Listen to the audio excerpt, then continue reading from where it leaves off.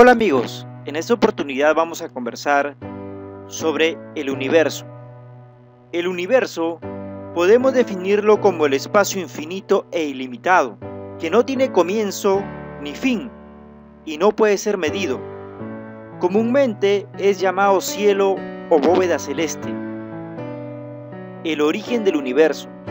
Desde la antigüedad, un interrogante ha inquietado y cautivado al ser humano ha sido el tema concerniente al origen del universo.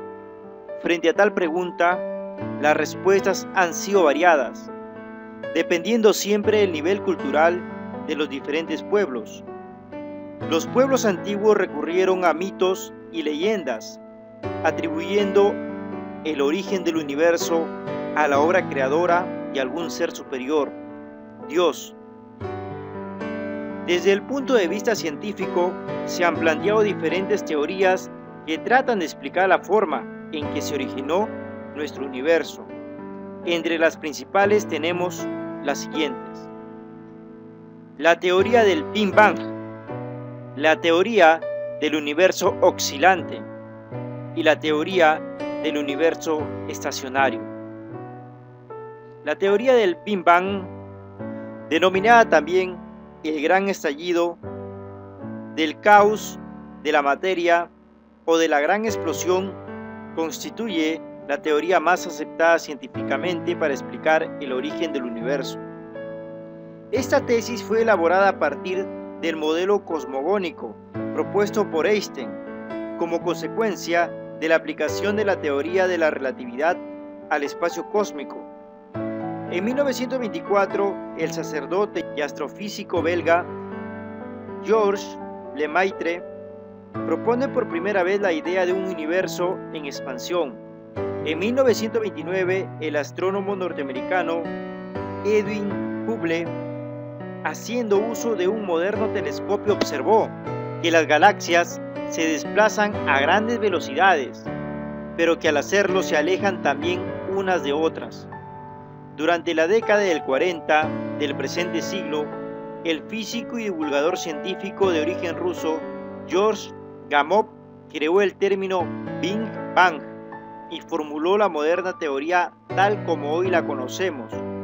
¿Cuál es el argumento de la teoría del Big Bang? La teoría del Big Bang sostiene que inicialmente la materia y energía del universo se encontraba comprimidos en un núcleo átomo inicial o ILEN, como le denominan algunos astrónomos, a una elevada temperatura y gran densidad.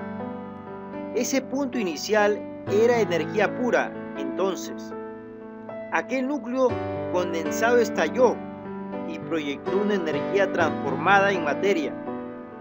La conversión de parte de energía inicial del universo en materia se habría realizado a los pocos momentos de producir el estallido, en diferentes direcciones, en un perpetuo movimiento.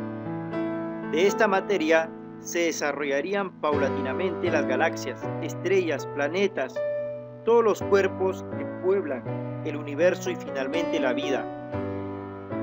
Cálculos basados en las posiciones actuales de las galaxias demuestran que este acontecimiento pudo haberse producido hace 20 mil millones de años aproximadamente. La teoría del universo oscilante.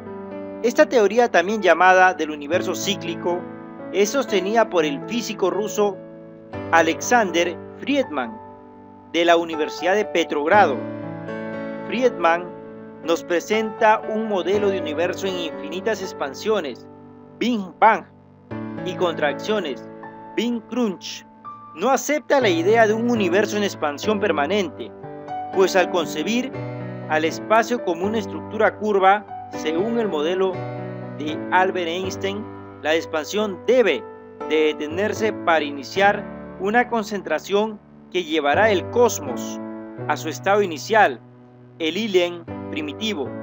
Desde la perspectiva de esta teoría, el universo tendría una edad aproximada de 82 mil millones de años, Teoría del universo estacionario.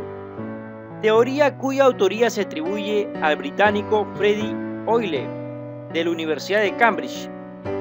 Esta teoría sostiene que el universo ha sido siempre igual y así seguirá eternamente, es decir, no ha tenido principio ni fin.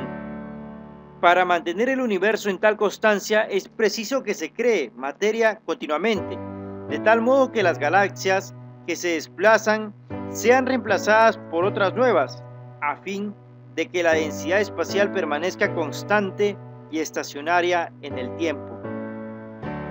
Bueno amigos, este es un resumen sobre el universo. Si les gustó este video dale click en me gusta. Nos encontraremos en el siguiente video en el canal de Avegal. Hasta pronto.